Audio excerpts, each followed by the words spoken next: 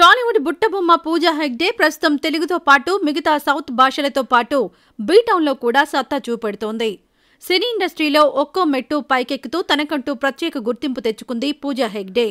ప్రస్తుతం టాలీవుడ్లో హాట్ బ్యూటీగా వరుసగా క్రేజీ ప్రాజెక్టులతో బిజీగా ఉంది. పూజా ఓవైపు షూటింగ్స్తో బిజీగా ఉంటూనే తనకు సంబంధించిన ఫ్యాషన్ విషయాలను అభిమానులతో పంచుకుంటూ ఉంటుంది.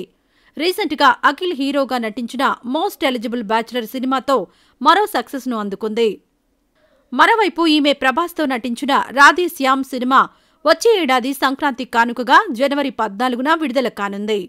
ఇక కొరటాల శివ దర్శకత్వంలో చిరంజీవి హీరోగా నటించిన ఆచార్య సినిమాలో రామ్ చరణ్ సరసన నీలాంబరి పాత్రలో నటించింది. ఇక పవర్ స్టార్ పవన్ కళ్యాణ్ హీరోగా నటిస్తోన్న భవదీయుడు భగత్ సింగ్లో హీరోయిన్గా పూజా హెగ్డేనే నటిస్తోంది. ప్రస్తుతం ఒక్కో సినిమాకు దాదాపు రెండు కోట్ల నుంచి మూడు కోట్ల వరకు వసూలు చేస్తున్న పూజ పవన్ సినిమా కోసం ఏకంగా ఐదు కోట్లు తీసుకుంటుందని తెలుస్తోంది. పవన్ రాజకీయంగా బిజీగా ఉండడంతో పూజా హెగ్డే డేట్స్పై ప్రభావం చూపిస్తుందనే కారణంగానే ఈ అగ్రిమెంట్ రాయించుకున్నారనే టాక్ నడుస్తోంది.